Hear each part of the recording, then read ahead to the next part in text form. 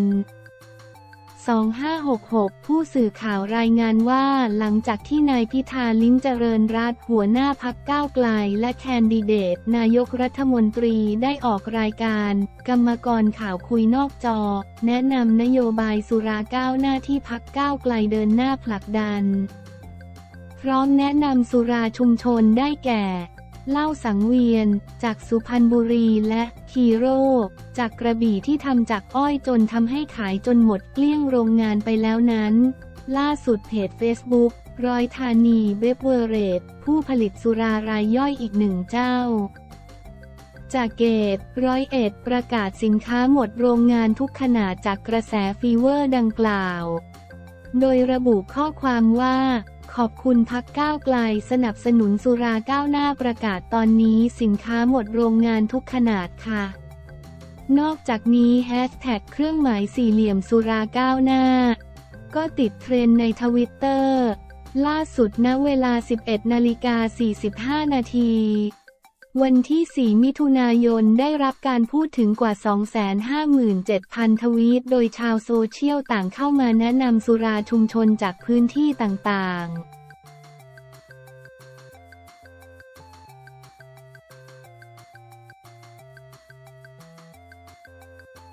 เดือดสนั่นครูภัยบูลฟาดกลับเมียเก่าชเมียใหม่เอ เปิดคำในสารซัดขอจบไม่จบอีกไม่จบง่ายๆ เดือดสนั่นครูภัยบูลฟาดกลับแรงหลังเมียเก่าแฉเมียใหม่ เปิดภาพหวานกระต่ายลั่นคู่ชีวิตเอซัดกลับขอให้จบเป็นประเด็นต้อตอบกันมาอยู่เรื่อยๆ ทั้งเรื่องราวฟ้องร้องกันในศาล รวมทั้งเรื่องราวในโลกโซเชียลที่เป็นประเด็นวิวาทะกันสำหรับเอมิราชนวิรันวานิชกับอดีตสามีครูภัยบูลแสงเดือน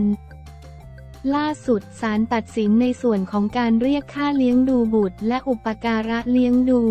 ให้ครูภัยบูลจ่ายเดือนละ 10,000 บาท ตั้งแต่วันนี้จนบุตรบรรลุนิติภาวะ และให้แม่ดูแลเรื่องลูกจะอยู่ในความดูแลของใคร แม่ก็ให้ลูกตัดสินใจลูกขออยู่กับแม่นั้น ก่อนเอมิราจะโพสต์ข้อความระบุว่า เพิ่งมีเวลาอ่านคำอุทธรณ์แล้ว คือเขียนคำอุทธรณ์ว่าเอให้ลูกเรียกปุ๊บว่าพ่อเอาคนอื่นมาแทนที่พ่อ ตัวเองไม่เคยให้ลูกเรียกภรรยาใหม่ว่าแม่เลย ให้เรียกที่เดียวนะ คิดได้ไงก่อนเรียกที่มาแต่แรกแล้วไหม เอยังคอมเมนต์เพิ่มเติมว่า ปุ๊บอายุเท่าเอเพื่อนเอทุกคนสายแนนต้องเรียกแม่ เรียกพ่ออยู่แล้ว แต่คุณคะลูกเรียกเมียคุณว่าเอื้อย ตั้งแต่เขาจำความได้จ้ะแปลกแปลกนะความคิดคุณอะในเอกสารลูกบอกสารว่าเมียคุณตีลูกด้วยหนิลูกถึงไม่อยากกลับไปดึงสตินะปกป้องลูกไม่ได้วันไหนไม่เหลือใครจะสมน้ำหน้าให้สัง เรื่องราวไม่จบล่าสุดวันที่ 2 มิถุนายน 66 ครูภัยบูลเคลื่อนไหวฟาดกลับเช่นกัน โดยโพสต์ข้อความเดือดแรงว่า คนโง่เท่านั้นที่เชื่อคนสร้างเรื่อง สร้างกระแสพูดเองเออเองอยู่ฝ่ายเดียวกล่าวหาคนอื่นเป็นนิด ไม่พูดไม่ใช่ว่าเราผิดคนที่พูดมาก ใช่ว่าจะจริงสำเนียงสอภาษากริยาสอสกุลยังใช้ได้เสมอปอลอ คันสูดีจริงเก่งจริงสวะฮอตตี้ละสิมีคนเบิ่งสูบอก ก่อนจะโพสต์ภาพคู่กับกระต่ายพันนิพานักร้องสาวพันรยาโมเมนต์สุดหวาน พร้อมระบุแคปชั่นคลั่งรักเอามากๆด้วยว่า หากวันนี้ฉันต้องรักใครอีกครั้ง คนร่วมทางขอเป็นเธอนั้นได้ไหมเอ่ย ให้เลือกกี่ครั้งก็ยังเลือกเธอเป็นคู่ชีวิต ด้านเอ๋ก็โพสต์กลับเดือดเช่นกัน โดยแคปข้อความอดีตสามีในสารเรื่องตัวเองให้ลูกเรียกภรรยาใหม่ว่า พี่แต่เอ๋กลับให้ลูกเรียกสามีใหม่ว่าพ่อเป็นการอบรมสั่งสอนให้คนอื่นมาแทนที่พ่อ สอนลูกให้เกลียดชังพ่อพร้อมแคปชั่นว่าทำดีแต่ถูกนินทาว่าชั่วก็ไม่ทำให้ความดีกลับเป็นความชั่วได้ เมื่อทำดีก็คงเป็นทำดีอยู่นั่นเอง และยังคอมเมนต์ใต้โพสต์บอกอีกว่า ข้อเท็จจริงก็ตามนี้แหละค่ะ ถ้าไม่อยากให้พูดถึงคุณก็ควรจบนะศาลบอกให้จบ คุณสองคนก็บอกจะฟ้องต่อคดีลูก ฉันก็ขอสิทธิ์คนละครึ่ง ถ้าคุณยอมดีๆ ฉันก็คงไม่ต้องฟ้องให้มันวุ่นวายขนาดนี้ อยากวุ่นวายไม่ใช่หรอประสาทหรือเปล่าสูเป็นคนเริ่มนะ หนูทั้งเลี้ยงลูกทั้งทำงานทั้งต้องไปสารมันเหนื่อยมาก จ้าจนบางทีโมโหต้องไปเจอหน้าเขาสองคน ต้องไปนั่งฟังอะไรก็ไม่รู้ ได้แต่นั่งถอนหายใจอีเมียก็บอกไม่เคยรู้จักหนูอีกหัวก็ยกนิ้วให้เมียยิ้มเยาะเย้ยเราหนูต้องอดทนกับความรู้สึกขนาดไหน เอาจริงถ้าไม่มีผู้ใหญ่ช่วยหนู ไม่มีลูกค้าไม่มีพี่ๆทุกคน หนูคงต้องตกเป็นจำเลยสังคมต่อไป คงต้องยอมเพราะอำนาจความดังอำนาจเงินมันทำให้คนถูกเป็นคนผิดทำให้คนดีเป็นคนชั่วได้เลย หนูไม่ได้หวังให้ทุกคนมารักหนู แต่อยากให้กรณีของหนูเป็นตัวอย่างให้ผู้หญิงหลายๆ คนที่เป็นแบบหนู ลุกขึ้นสู้อยากให้รู้ว่ายังมีผู้หญิงอีกหลายคนที่เข้าใจและคอยให้กำลังใจ หนูไม่มีอะไรจะเสียยุแล้วถึงจุดที่ต้องลุกขึ้นสู้หนูก็สู้สุดใจ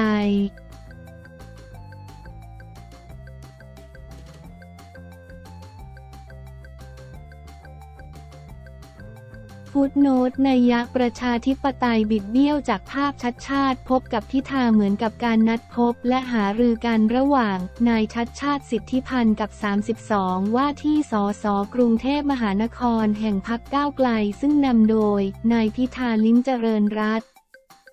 จะเป็นเรื่องธรรมดาอย่างปกติ โดยพื้นฐานก็คือระหว่างว่าที่สสกรุงเทพมหานครที่จะต้องเข้าคารวะต่อผู้ว่าราชการจังหวัดกรุงเทพมหานคร เหมือนกับที่เกิดขึ้นในหลายจังหวัดของพรรคก้าวไกล ในเมื่อนายชัดชาติสิทธิพันธ์ดำรงตำแหน่งเป็นผู้ว่าราชการจังหวัดกรุงเทพมหานคร ก็ชอบด้วยเหตุผลที่ว่าที่สสกรุงเทพมหานครจะต้องเข้าไปแสดงความคารวะ เพราะต้องทำงานสัมพันธ์กัน ยิ่งพักก้าวไกลได้รับความไว้วางใจจากชาวกรุงเทพมหานครเลือกให้มาเป็นผู้แทนเป็นจำนวนมากถึง 32 จากจำนวนทั้งสิ้น 33 ยิ่งมีความจำเป็น กระนั้นความละเอียดอ่อนเป็นอย่างมากยังอยู่ที่ไม่เพียงเป็นการพบระหว่างผู้ว่าราชการจังหวัดกรุงเทพมหานครกับบรรดาว่าที่สสเท่านั้นหากแต่ยังมี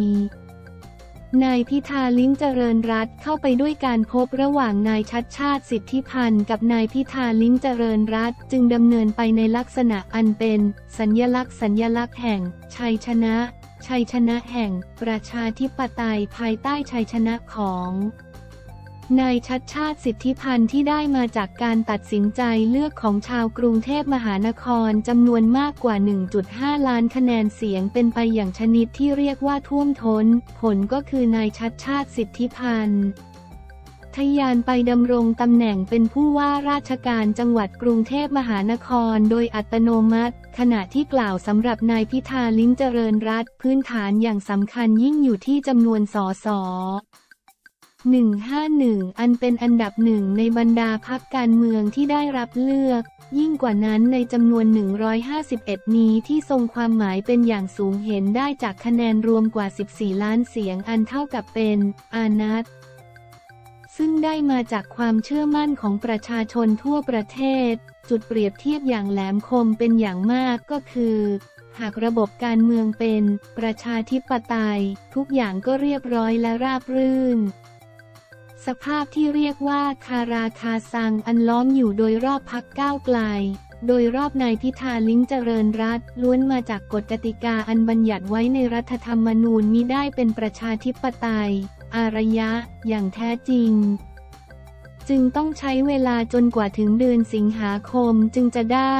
คำตอบจึงต้องผ่านด่านของคณะกรรมการการเลือกตั้งตั้ง จึงต้องผ่านด่านอันมี 250 สว มาเป็นเครื่องรับรอง จึงทำให้ภาพการพบระหว่างนายชัดชาติสิทธิพันธ์นายพิธาลิงเจริญรัตแหลมคมแหลมคม เพราะเท่ากับเป็นการฟ้องต่อประชาชน เป็นการฟ้องต่อนานาอารยประเทศ